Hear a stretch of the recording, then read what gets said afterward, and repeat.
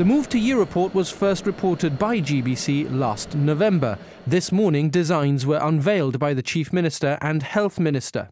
Well, Jonathan, it's a very exciting announcement. As you know, this has been very much uh, in the works for quite some time. We have announced what we think is an excellent new primary care centre facility and also a paediatric hub. The paediatric hub is a manifesto commitment of the government and we are confident that the crossover to the new premises will take place in the first half of next year. The new primary care centre will be built behind the existing St Bernard's Hospital. Government ministers and top GHA officials believe that co-location will present more opportunities than it will challenges. I think, in fact, that the move next to the hospital will bring a whole series of advantages. You will have heard me say many times before that the aim of the GHA is to repatriate as many services as possible, to repatriate services for primary, secondary and tertiary care to have the primary care centre and the paediatric hub next to the hospital will provide seamless synergies in respect of the services that they respectively provide. A number of them will include areas which are under control of the government. The Chief Minister said he thinks parking will become easier at the new location and to have an integrated pediatric hub where you're able to have the different uh, specialisms that children uh, receive in the PCC currently to be able to be received in a new pediatric hub that combines primary and secondary outpatient services, but which is right next to the hospital in the event that the service is required to be provided at the hospital is, I think, as I said, a huge advantage.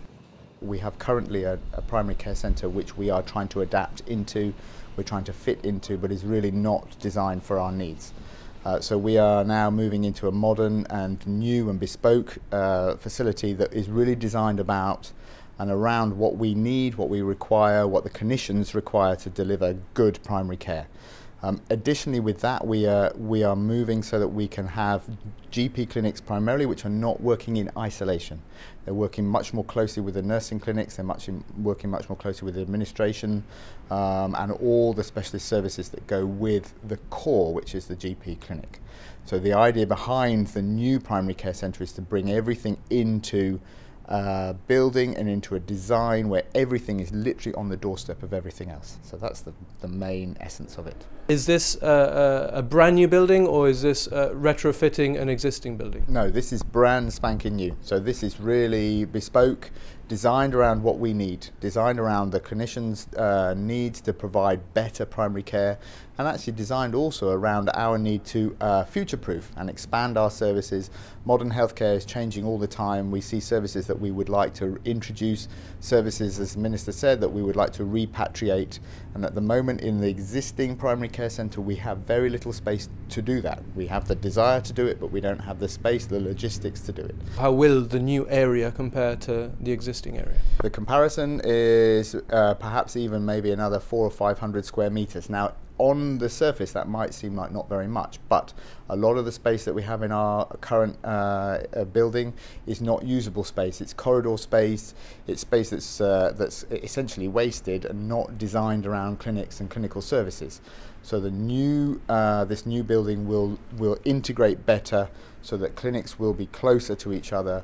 There'll be more usable space. There'll be less corridor and wasted space. Much more space dedicated to clinical services uh, against the backdrop of uh, rising recurrent expenditure at the GHA, will this move represent value for money? I think we've actually achieved tremendous value for money.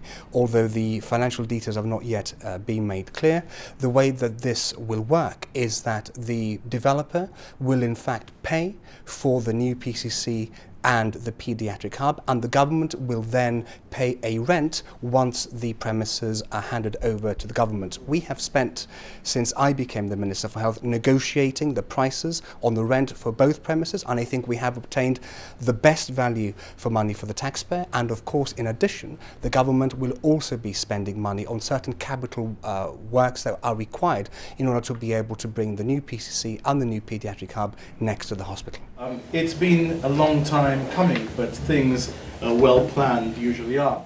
Fabian Picardo said the move will be game changing. Doing so without interrupting services will take months of planning.